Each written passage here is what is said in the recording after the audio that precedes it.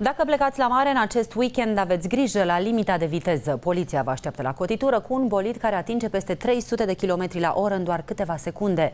Astfel, oamenii legii pot prinde din urmă pe șoferii care se cred la raliuri.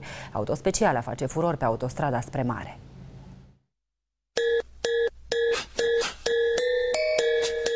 Nu suntem în filmele de acțiune, ci chiar pe autostrada Soarelui. Mii de șoferi trec zilele acestea pe aici în drum spre mare. Unii mai vitezomani ca ceilalți. Cei care se cred la raliuri nu au însă nicio șansă atunci când poliția îi fugărește cu peste 300 de km la oră. Are o capacitate cilindrică de 3600 de cm cub diesel și dezvoltă o putere de până la 320 de cai putere.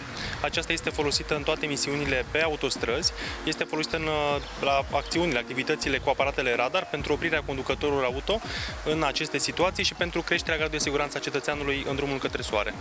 Cei care încalcă legea nu sunt puțini. În doar 3 zile, peste 10.000 de șoferi din toată țara s-au ales cu amenzi pentru că au depășit viteza. Dacă vreți să ajungeți la mare în acest weekend și vă gândiți să apăsați ceva mai tare pedala de accelerație, ar fi mai bine să renunțați la idee. Asta pentru că vă vor ajunge din urmă polițiștii cu această auto specială care atinge peste 300 de km la oră și riscați să luați și amenzi care cel mai probabil vă vor strica și vacanța.